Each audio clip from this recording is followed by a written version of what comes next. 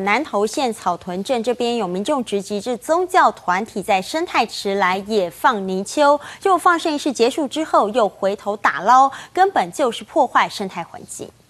捞起来啊！它会破坏水库哎。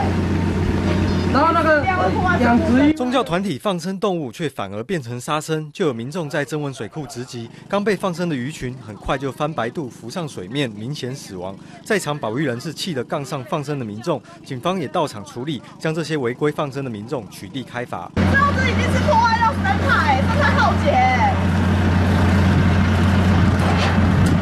警察来了，一个都别走。同样的，在南投草屯一个生态池，也有民众直击。出家法师带领许多民众在生态池旁合掌诵经。一名穿白衣的男子帮忙把泥鳅放生在池中。没想到放生仪式一结束，等到民众离开后，这名白衣男子就去打捞这些刚刚才被放生的泥鳅。过程全被民众拍照泼网，网友痛批：这简直是一种新的放生链，严重违反当地生态。泥鳅的话，可能比较困难了。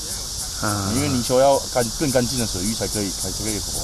民众的善心疑似被利用，被放生的动物反而没了生命。南投县政府也表示，放生动物未经申请可处十万元以下罚款。记者苏优雅、杨清源南投报道。